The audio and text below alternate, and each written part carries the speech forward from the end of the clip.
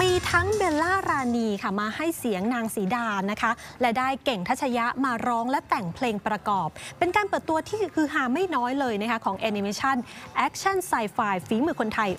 100%นักรบมนตราตำนาน 8 ดวงจันทร์ค่ะ ซึ่งลงทุนนะคะ200 ล้านบาท ใช้เวลาสร้างสรรค์กันกว่า 3 ปีค่ะ แต่ล่าสุดเมื่อวันนี้นะคะเพจชมรมวิจารณ์บันเทิง ได้เปิดเผยรายได้รวม 5 วันแรกของแอนิเมชันเรื่องนี้ค่ะ ว่าอยู่ที่ 4.17 ล้านบาท โดยวันแรกที่ลงโรงฉายเปิดตัวนะคะก็ไม่ถึง 1 ล้านบาทด้วยซ้ำซึ่งอาจจะไม่ใช่ตัวเลขที่คาดหวังของคนเชียร์แอนิเมชันไทยนักค่ะ และคาดการได้ว่าอาจจะเจ็บหนักนะคะ เพราะว่ารายได้ไม่คุ้มทุนสร้าง นักรบมนตราตำนาน 8 ดวงจันทร์ค่ะ ได้ทุนจากกระทรวงวัฒนธรรม ตามหลักเกณฑ์การให้งบสร้างภาพยนตร์ ส่งเสริมซอฟต์พาวเวอร์ไทยประจำปี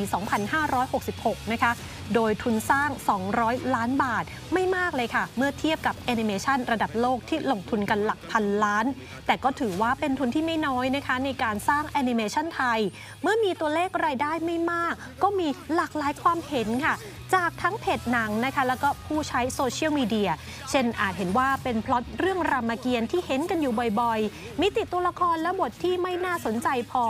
ขณะที่คนที่ได้ชมแล้วจำนวนไม่น้อยนะคะ ยังคงเชียร์ค่ะ เพราะบอกว่าฉาก action ไม่น้อยหน้าเลย กราฟิกคุณภาพดีนะคะ แล้วก็มีงานดีไซน์ตัวละครที่ดี สามารถพัฒนาเป็น merchandise ต่างๆ ได้ด้วย